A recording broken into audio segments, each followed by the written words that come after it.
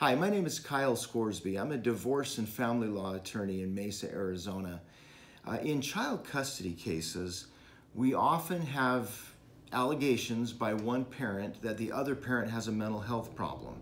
It seems that everyone these days is a mental health expert. We'll get people all the time that say, oh, my husband's a narcissist. Or a guy that says, my wife's bipolar. I should get custody because my wife's bipolar or the wife, I should get custody because my husband is a narcissist. Well, let's talk about that for a second. First of all, lay people's diagnoses of mental health issues don't hold up in court.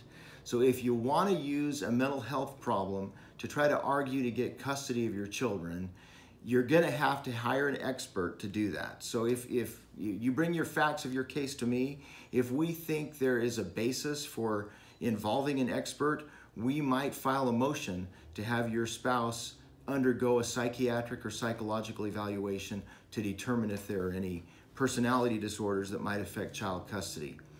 The second part is even if a personality disorder is determined by an expert, there has to be harmful behavior that goes along with that for it to impact child custody.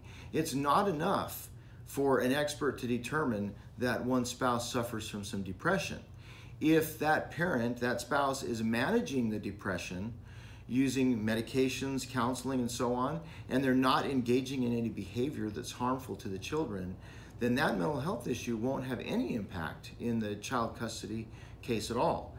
So if you think that your spouse has a mental health problem, or maybe you're suffering from a mental health condition, and you're wondering if that might affect the outcome of the child custody portion of your case, please give us a call. Set a time to meet with me to discuss that.